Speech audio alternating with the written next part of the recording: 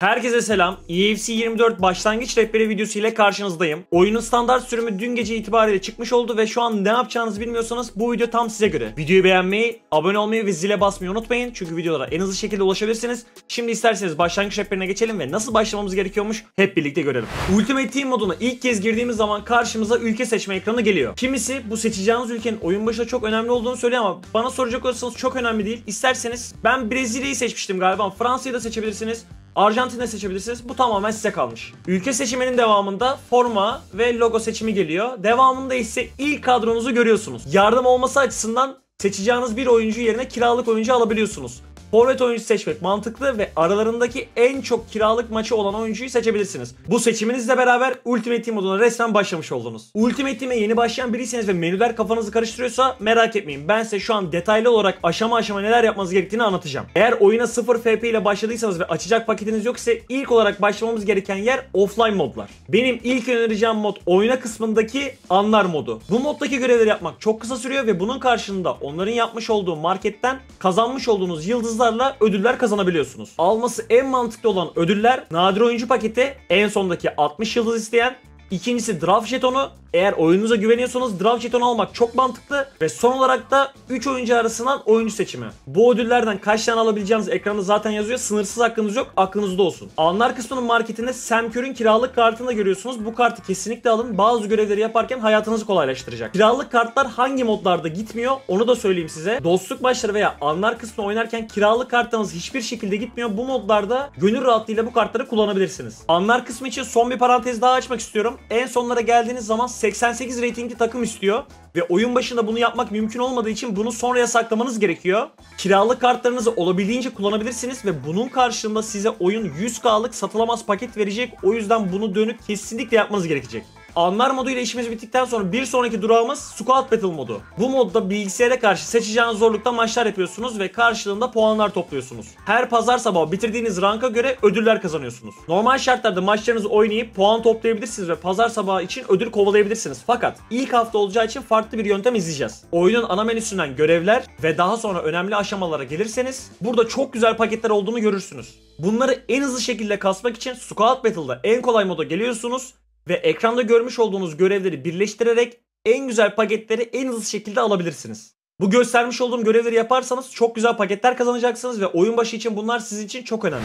Ve evet artık offline modlarıyla işiniz geçici olarak bitti. Şimdi sıra online modlara geldi. Amacımız coin kasmak. Eğer anlar kısmındaki satılabilir paketlerden iyi bir şey çıkardıysanız ne mutlu size. Ama çıkaramayanlar için birazcık daha çalışmamız gerekiyor. Online'da ilk olarak oynayabileceğiniz mod anlar kısmında kazanmış olduğunuz draft jetonuyla draft girmek. Draft girmek her açıdan mantıklı. Hem kartları deniyorsunuz ve karşılığında paketler alıyorsunuz. 4 maç oynuyorsunuz ve eğer 4 maçta kazanırsanız en iyi ödül alıyorsunuz ve eğer kaybederseniz de hangi maçta kaybettiyseniz ona göre ödül alıyorsunuz. Oyun başı draft oynamak mantıklı her ne kadar zor olsa da dediğim gibi değişik kartları denemek ve karşında ödül almak çok güzel. Bunun yanı sıra kadro kurma görevi dediğimiz görevleri yaparak karşında oyuncu veya paket kazanabilirsiniz. Ana menüde KKG'ye yani kadro kurma görevlerine geldiğinizde buradaki görevleri görüyorsunuz. İlk olarak en baştaki görevi zorunlu olarak yapmanız gerekiyor ve sonrasında bütün görevleri açabiliyorsunuz. Benden size tavsiye ilk olarak marki matchup dediğimiz yani büyük karşılaşmaları yapmanız satılabilir oluyor ve perşembe günleri akşamları geliyor. Bu paketlerden sonra en mantıklısı gelişmiş kadro kurma görevlerini yapmak. Bunları yapmak için internetten yardım alabilirsiniz. Çünkü kendi başınıza yapmaya çalıştığınız zaman zorlanabiliyorsunuz. Ama diyorsanız ki ben elimdeki kartlarla yapacağım o zaman kolay gelsin size. Bu iki yöntemin yanı sıra son olarak da online olarak Rivals oynamanız gerekiyor. Rivals her hafta düzenli olarak oynadığınız ve karşılığında ödül aldığınız bir sistem. Bu ödüllerin kendi içinde 3 farklı şekli mevcut. İlk olarak satılabilir paket, ikinci olarak aynı paketlerin iki katı olacak şekilde satılamaz hali ve üçüncü olarak da satılamaz ve yanında bir miktar coin veriyor. Burada hangisini almak istediğiniz tamamen size kalmış. Kadronuzun gidişatına göre ilerleyebilirsiniz. Ya da risk almak istemeyenler üçüncüyü alabilirler. Karşında net bir coin ve satılamaz paketleri alabilirsiniz. Online modları anlattıktan sonra size görevlerden bahsetmek istiyorum. Bu sene görevler çok iyi ödüller veriyor. Görevlerin içindeki sezon ilerlemesine geldiğinizde 40 level'a kadar olan ödülleri görüyorsunuz. Bu görevleri açabilmek, sezon ilerlemesinde ilerlemek için oyunun size vermiş olduğu görevleri yapmanız gerekiyor. Sezon ilerlemesini bir yanına kaydırdığınız zaman burada kasmanız gereken görevleri görebilirsiniz. Burada farklı görevler mevcut. Günlük olanları da var, haftalık olanları da var ve promolara göre gelen görevler de mevcut. XP'yi sadece buradaki sezon ilerlemesinden kasmıyorsunuz. Haftalık Rivals ödüllerinden, Squad Battles ödüllerinden, Foot Champions modlarından kazanabiliyorsunuz. Foot Champions'a birazdan geleceğiz.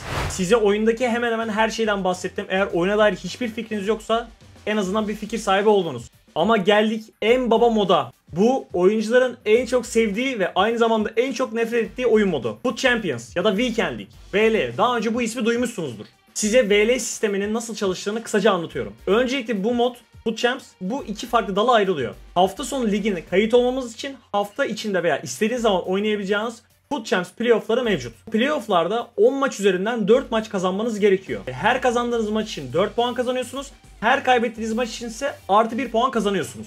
Kısaca 4 maç kazanabilir ve geri kalan maçları kaybetseniz bile hafta sonu ligine hak kazanmış oluyorsunuz. Bu 10 maçta ne kadar maç kazanırsanız onun karşılığı kadar ödül alıyorsunuz. Bu moda istediğiniz zaman girebileceğinizi söylemiştim. Peki hafta sonu ligine, weekend lige ne zaman girebiliyoruz? Cuma sabahı 10'da başlıyor ve pazartesi sabah 10'da bitiyor. Hafta sonu ligi oyundaki en zor mod. Cuma sabah 10'dan pazartesi sabah 10'a kadar 20 tane maç yapmanız gerekiyor. Bu maçları istediğiniz aralıkta oynayabilirsiniz. İsterseniz cuma tek oturuşla bitirin veya son dakikayı bırakabilirsiniz. Maçların yetişmeme durumu var. Bunu yapmanızı tavsiye etmem. Aldığınız galibiyet sayısına göre güzel ödüller alıyorsunuz. Güzel demişken gerçekten çok güzel ödüller. 20 maçta 9 galibiyet alsanız bile kadronuz çok ama çok gelişecektir.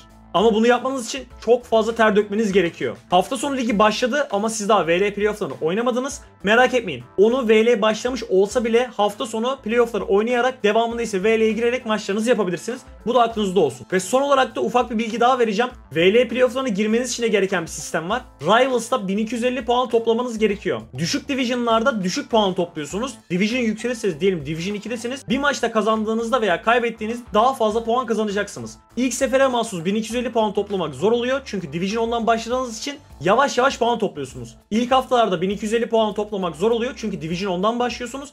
Ama haftalar ilerledikçe Division yükseldikçe her maç attığınızda veya Foot Champs ödüllerini aldığınızda direkt o 1250 puanı çok hızlı bir şekilde doldurabiliyorsunuz. Bunu düşünmenize bile gerek kalmıyor. Weekendlik sistemini de anlatmamla beraber başlangıçta yapılabilecek hemen hemen her şeyi anlattığımı düşünüyorum. Oyuna para harcamadan vakit harcayarak hatır sayılır bir kadroyla oynamak mümkün. Eğer oyuna para harcamayacaksanız yapmanız gereken şey oyuna zaman harcamak, grind yapmak. Bu dediklerimi sırasıyla yaparsanız kadronuzun ne kadar geliştiğini siz zaten göreceksiniz. Herhangi bir sorunuz varsa aşağı yorum bırakmayı unutmayın. Videoyu beğenip zili de açmayı unutmayın. Benim kendi para harcamadan yapmış olduğum to Zico serisinde kaçırmayın. Para harcamadan Zico kartı nasıl alacağımı siz de benimle beraber göreceksiniz. Twitch yayınlarıma gelerek de benim nasıl oynadığımı görebilir, sorularınız varsa sorabilirsiniz ve keyifli zaman geçirebilirsiniz. Kendinize çok iyi bakın, hoşçakalın. Bye bye.